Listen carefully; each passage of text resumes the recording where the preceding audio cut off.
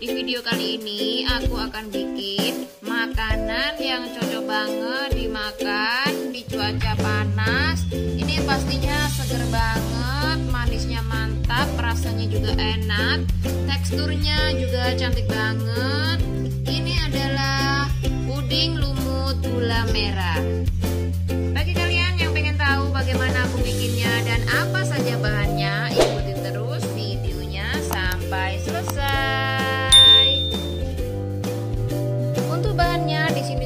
Siapkan 300 gram gula merah, 2 saset susu kental manis atau setara dengan 80 gram, 2 bungkus santan instan, 2 butir telur, 2 bungkus agar-agar ini aku gunakan yang warna putih 1200 ml air putih dan di sini ada vanili aku gunakan setengah sendok teh kemudian ada daun pandan.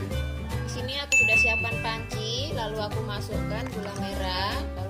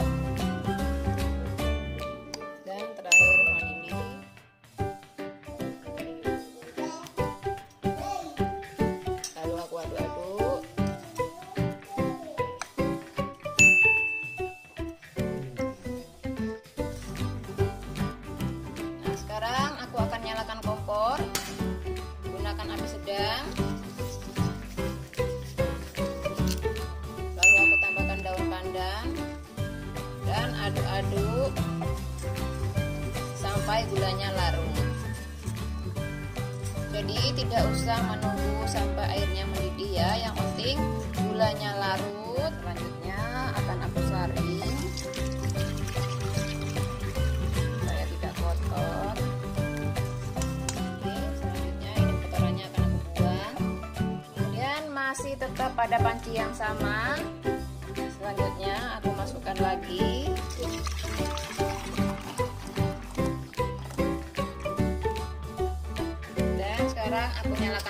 kompor ini akan aku masak sampai benar-benar mendidih ya.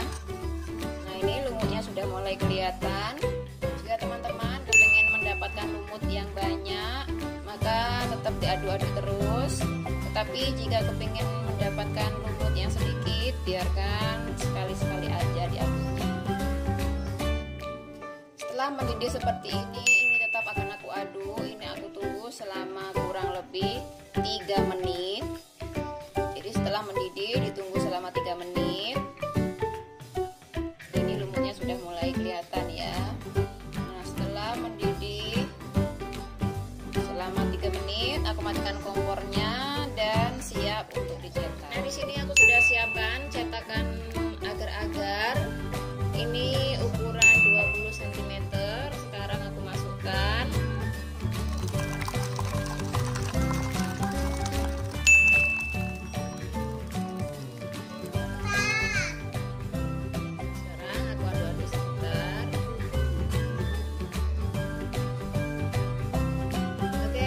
selanjutnya ini aku biarkan hingga dingin dan keras ya.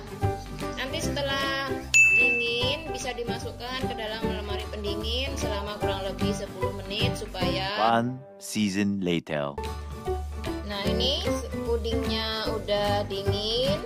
Ini tadi juga udah aku masukkan ke lemari pendingin Selama kurang lebih 10 menit. Sekarang akan aku keluarkan